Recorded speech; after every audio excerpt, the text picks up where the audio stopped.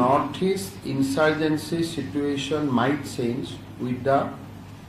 Hasina government going because Bangladesh, if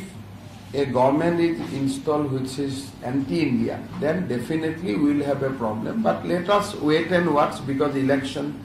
is to be conducted अभी तक election हुआ नहीं है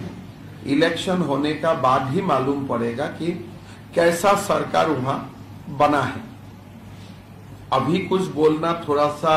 प्रीमेच्योर होगा। जब तक चुनाव हो जाएगा, उसका बाद ही हमको पता पड़ेगा कि बांग्लादेश का हालत कैसा होगा and what will be the probable implication of that in India how it will impact sometime you never know there may be a more good government might come after the election who may be more pro India than Sheikh Hasina also but